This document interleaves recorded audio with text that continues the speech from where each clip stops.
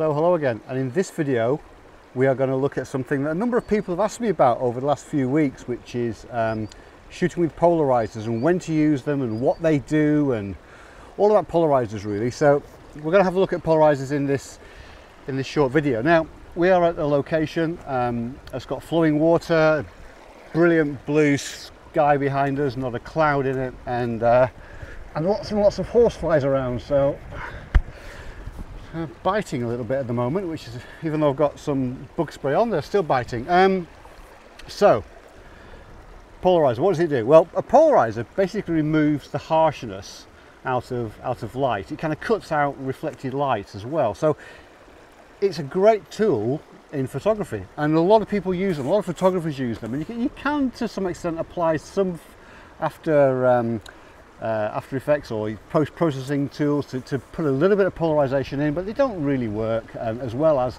doing polarization at the point of taking the photograph. So if we take this scene behind us, um, we've got a blue sky. That's quite a bright blue sky, although it's clear. Um, what a polarizer do in, that situation, it will actually darken the sky a little bit, make it a little more bluer bring out more blueness in that sky. If you've got clouds in the sky, it would create quite a bit more definition between the, the, the blue of the sky and the clouds. So really good thing to, to use to, to pull out the, the definition in clouds.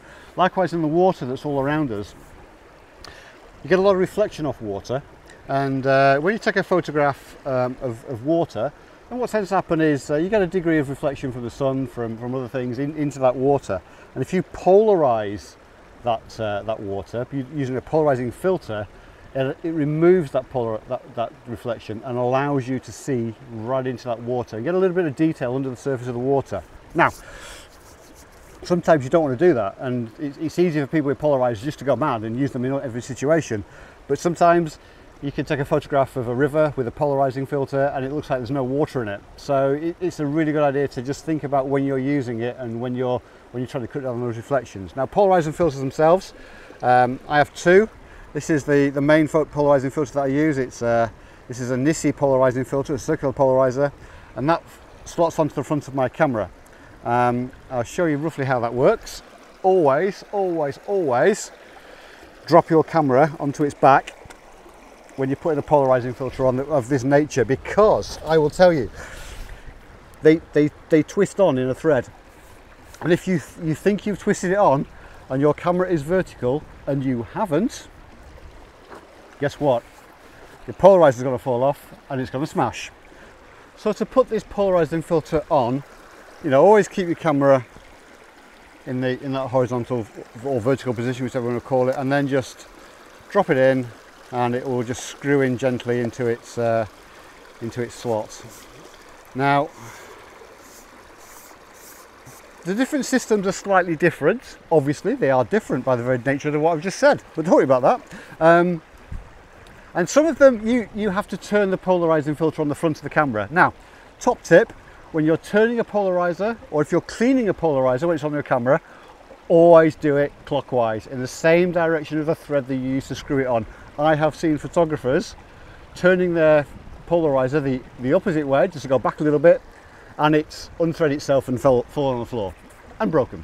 Um, so always, always, always do it in a clockwise direction, and that way it will always keep it tight on the front of your camera.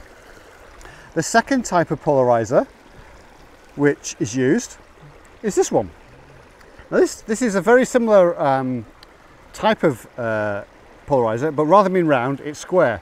And what this does is this slots in just like any normal filter on the front of your camera. And, and the way that you adjust this one is you, you literally just turn the filter holder. Now that's, that's kind of okay if you're using solid neutral density filters, but if you're using graduated filters, then clearly then you're, you're going to change the polarization as you turn it. So not, not as useful as the, as the turning one, but you know, you don't need a special mechanism or, and they're generally a little bit cheaper. Um, and there are horseflies absolutely everywhere.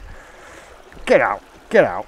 Right, okay, so let's take, let's take a look, take a look at a couple of photographs of this situation just here. So this is the first picture. This is a normal picture. It's taken with a neutral density filter just to get a little bit of movement in that water, but this is taken without a polarization filter on the front. And you can see in this image the glare and the reflection from the water.